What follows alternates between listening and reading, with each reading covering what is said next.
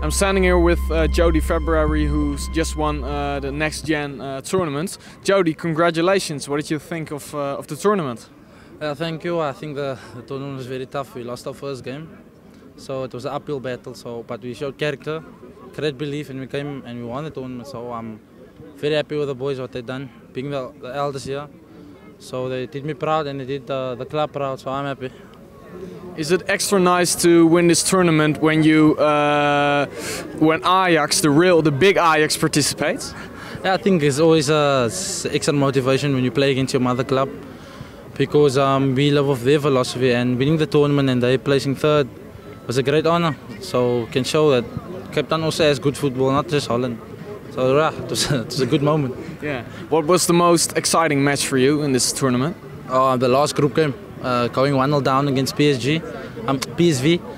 Um, coming back in the second half, winning the game 2-1, and that I think that uh, turned the whole tournament around. So I'm happy. Yeah. Did you uh, did you uh, thought you would win this tournament?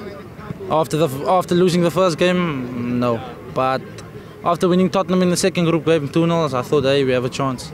So uh, we progress, we progress, and yeah, it was our luck we won the tournament this year. In your eyes, who was uh, the most valuable player when you look at all the tournament? in my team, or No, just uh, of all squads. I think we had the guy that scored two goals in the final. I think he, he done pretty well this tournament, so I'm giving it to him. If I think it was a team effort from our side, we done well. We played as a team, no individual, so yeah, Leo. I think Leo was a good. Okay. If I ask you, would you uh, consider playing for the big Ajax in the future? Would you uh, would you like that? Obviously, uh, all of us here at Ajax Cape Town, it's, our dream to come abroad to play for our mother club. So it's good. Yeah, obviously I want to play Ajax Amsterdam, but uh, in due time, hopefully.